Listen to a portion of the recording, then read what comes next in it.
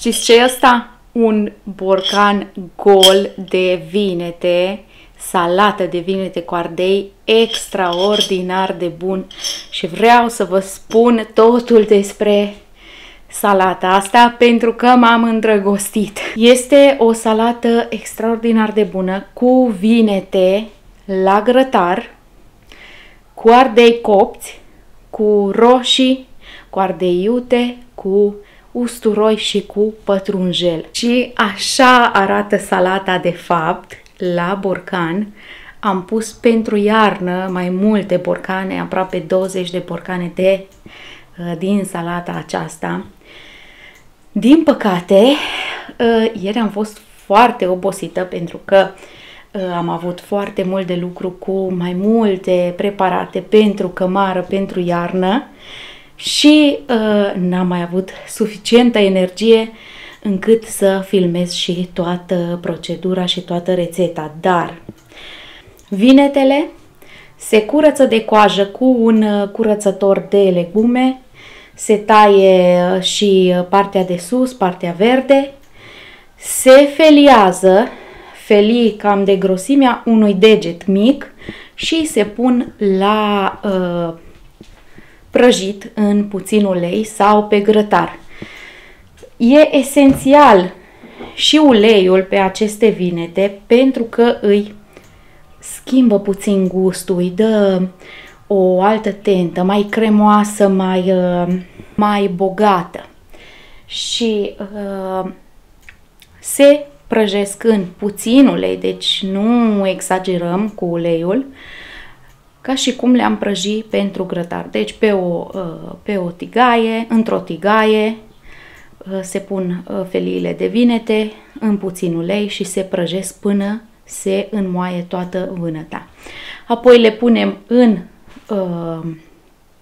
într-un bol și între timp punem și ardeii la copt, îi decojim ardeii, e foarte important să nu aibă cojițele acelea, pentru un uh, chic așa de, de savoare, putem pune și ardei iute pentru a da așa o senzație mai, uh, mai jucăușă acestei salate, puțin ardei iute, îl coacem și pe acela împreună cu ardeiul uh, gras, ardei capia, gogoșar, ce avem sau ce dorim să folosim Important este să fie roșu. După ce s-au copt vinetele sau după ce le-am prăjit, după ce s-au copt ardei, îi curățăm, îi tăiem pătrățele cam de un centimetru pe un centimetru sau mai mic, cum vă place. Dar nouă ne place să fie mai mărișoare, să se vadă așa frumos când întindem pe felia de pâine. De asemenea, vom avea nevoie și de niște roșii se taie și acelea pătrățele, se amestecă totul împreună, se pune, nu uităm de sare și câțiva căței de usturoi. Apoi, la final, tot ce mai rămâne este uh, niște pătrunjel verde. A ieșit ceva extraordinar de bun.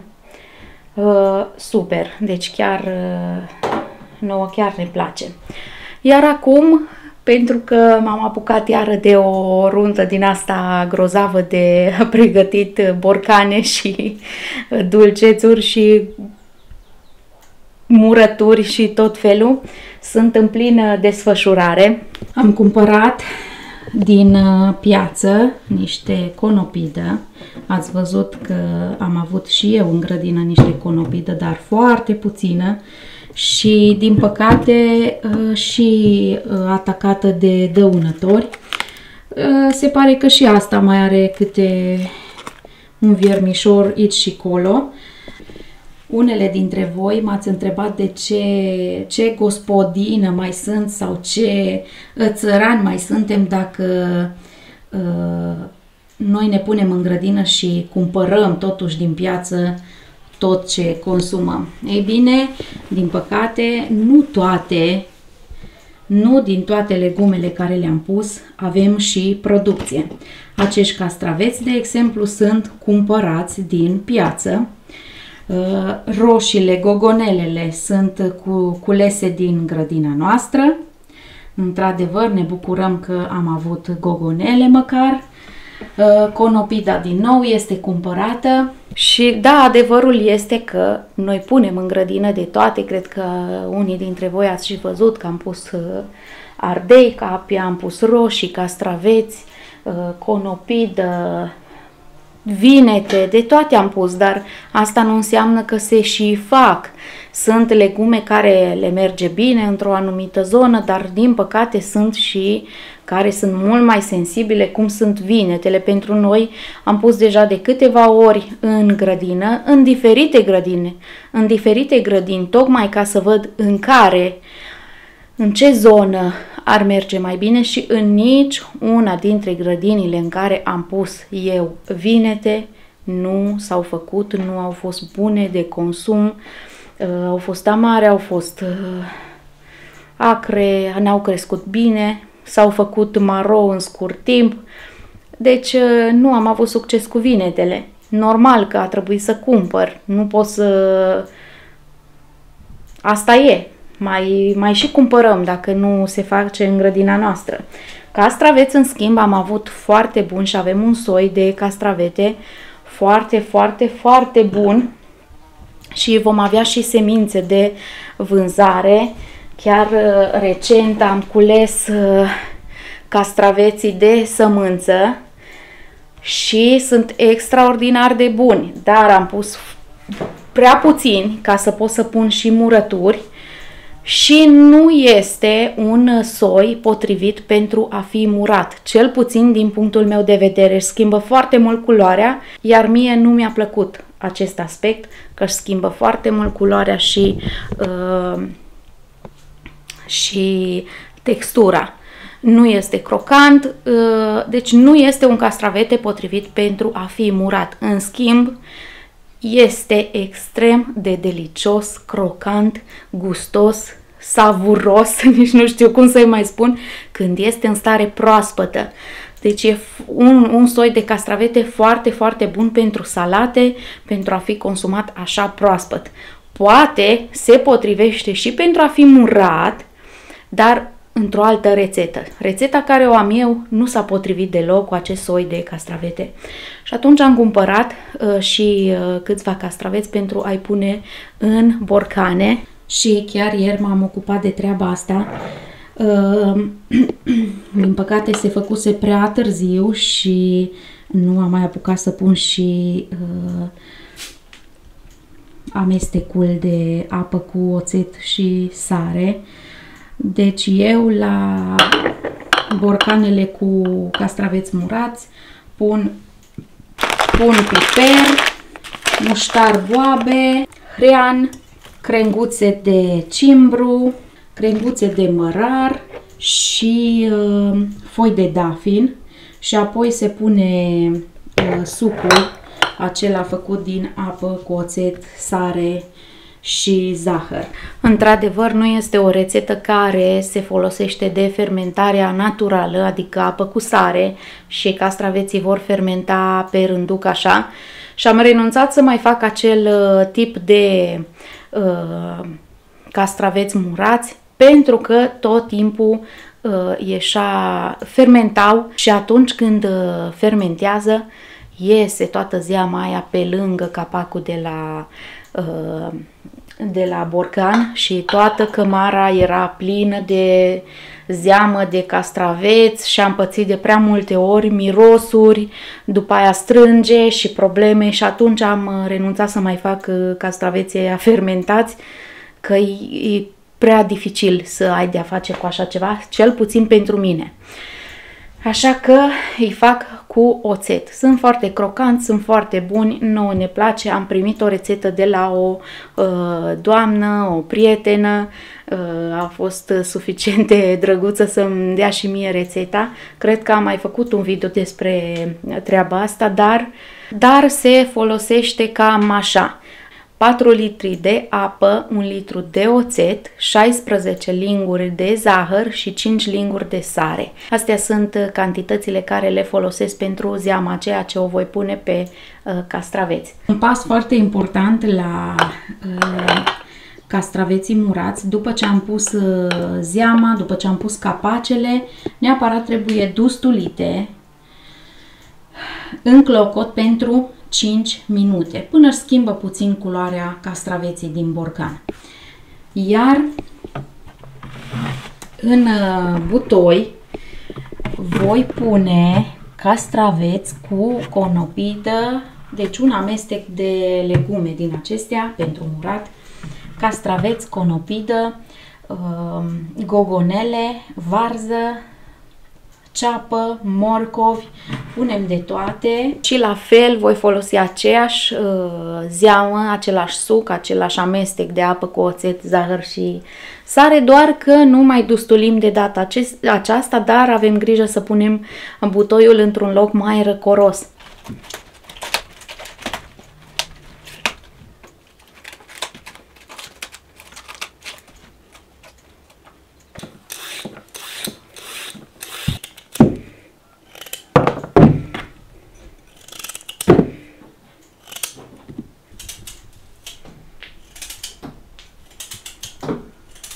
Vai de mine, ce dezastru ai aici! ce cu dezastru ăsta, Andreea, dragă? Dragul meu, nu dezastru, totul e un, e un dezastru calculat aici. E laboratorul tău de... E bucătăria de scandal asta. Și ce se întâmplă în bucătăria asta de scandal aici? În Că bucătăria de scandal se țin scandalurile. Aha. Și aici ce faci? Bagi așa la grămadă de toate? Da. Și apoi punem un, o zamă bună, bună. Și cum faci? Ai o sâtă de diverse mărimi și scoți de acolo cu sâta? da, cu sâta asta.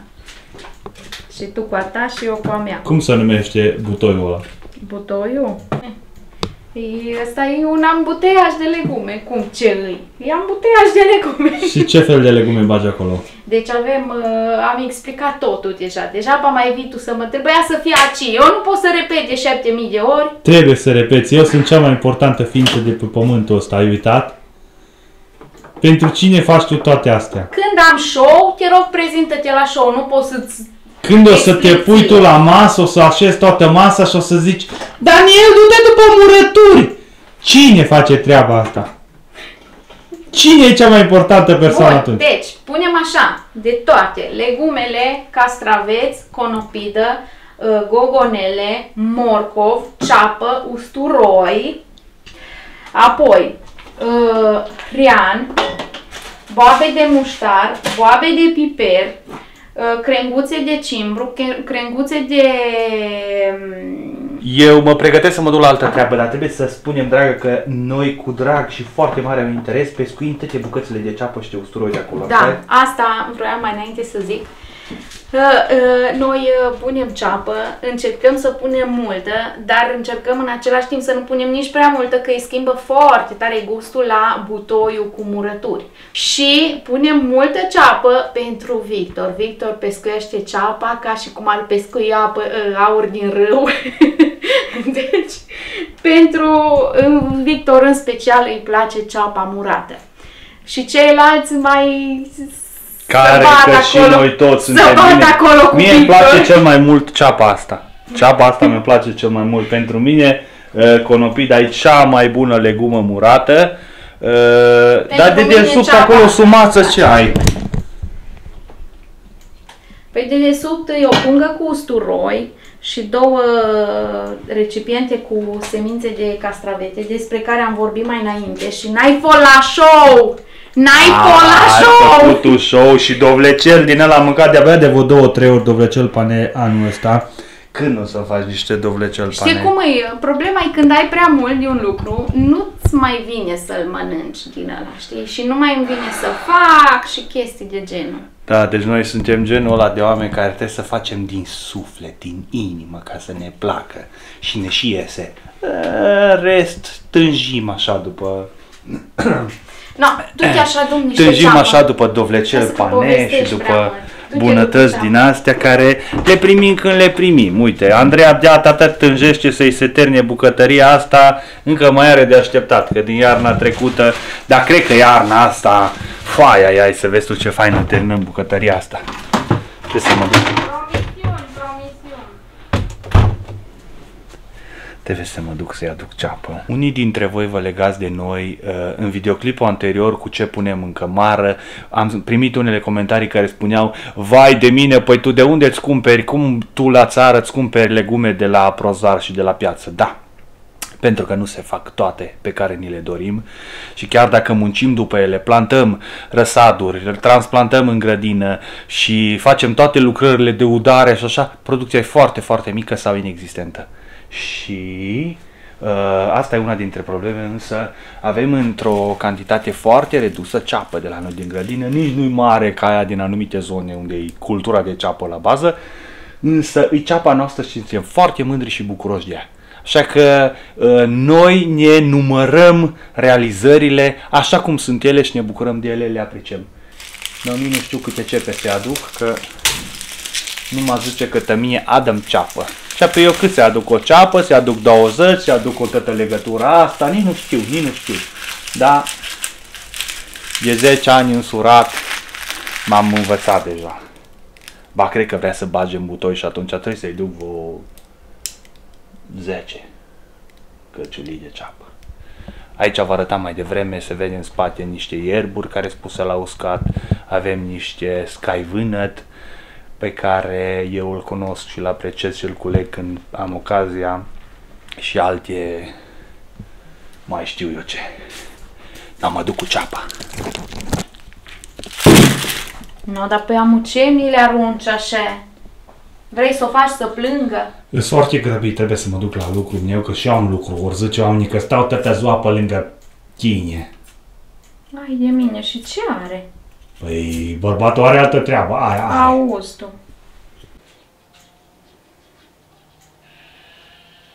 Iubire, dar ce faci? Ai zis că merg la lucru. Păi, îmi încălzesc un pic uh, maxilarul. Tot ce fac femeile să face cu sacrificiu. Asta trebuie apreciat. Dar nu apreciază nimeni. Și de-aia supărat.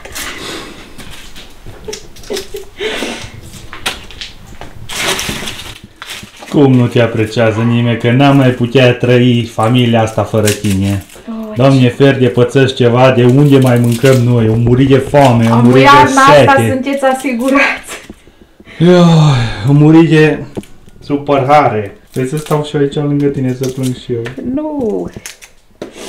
Am făcut video ăla cu au nebunit părinții, dar oamenii nu înțeles că ce am făcut noi acolo.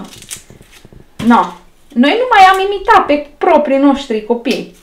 Bine, exagerând un pic, desigur. E exagerând, păi normal, arta e o exagerare a realității.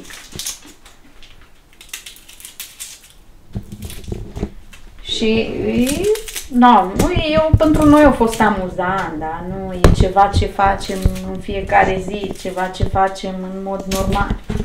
De aia probabil o și fost așa mai Vine și mie să plâng, atâta de frumoase cuvinte ți-a ales.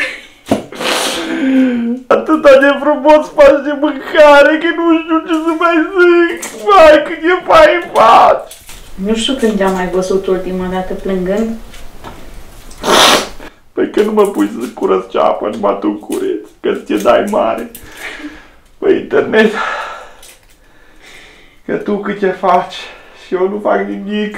Apoi să știi că nu faci nimic acum în momentul de față. Cred că ar trebui să pleci. De ce mă respingi?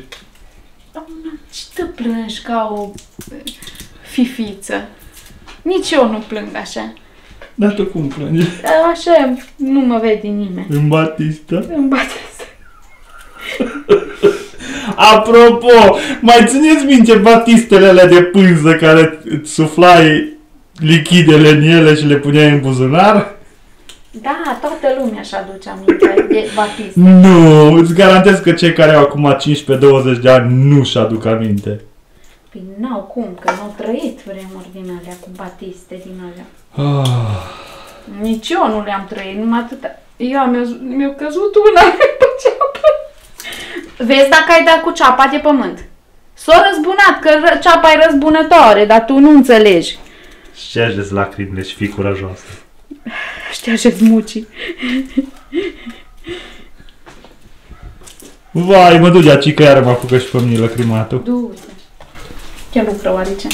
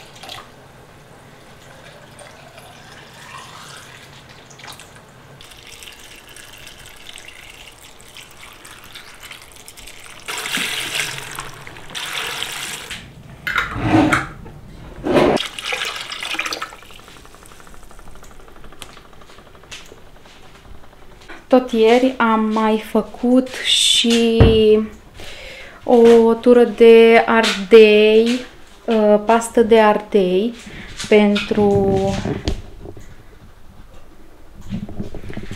pentru ciorbe, supe, uh, tocănițe. Deci eu folosesc pasta de ardei aproape la fiecare mâncare și am avut uh, din grădina din Cătun, uh, câțiva ardei. Au fost verzi când i-am cules, dar stând în bucătărie aici la răcoare, la loc uscat, au început să se înroșească și s-au copt foarte bine, chiar dacă au stat uh, aici în bucătărie într-o lădiță. Și așa că am zis că mai cumpăr câțiva gogoșari am cumpărat uh, din piață un săculeț de gogoșari, i-am dat prin mașina de tocat, am curățat și uh, ardei capia din grădina din Cătun. Sunt micuți, foarte mici, dar sunt uh, foarte buni. Uh, gogoșarul ce l-am, gogoșarii ce am cumpărat au avut foarte, foarte, foarte multă zeamă. Aceștia pentru că au stat mult la loc uscat și au stat în lădiță pentru, cred că deja îs cel puțin două săptămâni de când i-am cules, uh, s-au mai uscat și atunci au fost, uh, au avut foarte, foarte puțină zeamă, puțin suc. De ce i-am cules verzi? Pentru că ne stăteau în cale când am scos cartofii și uh, nu puteam să trecem cu tractorul din cauza zonei cu ardei și vinete. Vinetele am văzut că oricum nu avem ce salva din ele pentru că nu s-au făcut, ci au fost niște uh, ci au fost doar niște vinete mici și pricăjite Uh, plantele au fost mari, foarte frumoase și am avut mari speranțe că se vor face, se vor dezvolta. Dar, din păcate, n-am avut această bucurie. În schimb, uh, s-au făcut uh, ardei capia, dar printre cei mai mari au fost ceva de genul, poate chiar mai mărișor un pic, dar nu n-au fost mulți, au fost chiar foarte puțini și pricăjiți, așa cum ziceam. Așa că i-am cules așa cum au fost. Știam oricum că se vor înroși stând la loc uscat, răcoros și așa mai departe și chiar așa a fost. Ne-au mai rămas și câțiva verzi, într-adevăr, poate îi voi uh, tăia pătrățele, bucăți mici și îi voi pune la congelator pentru diferite preparate. Le voi spăla bine și apoi uh, punem pasta de ardei în borcane și apoi la dustulit.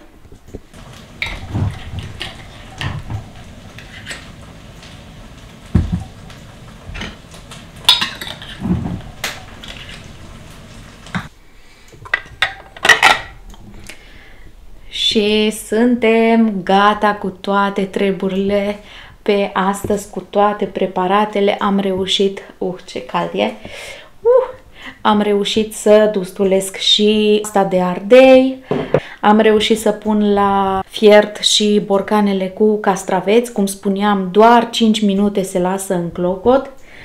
Și uh, da, și butoiul cu murături este gata. Astăzi n-am avut așa de multă treabă, așa că totul a fost făcut mult mai repede. Și încă un lucru foarte important ce vreau să vi-l transmit este că nu fac aceste videouri să mă laud nici într-un caz, ci să vă inspir, să nu uitați să vă pregătiți cămara pentru iarnă și mai ales acum este momentul pentru că deja încep ca legumele să fie din ce în ce mai scumpe în piață pentru că sunt pe final de sezon.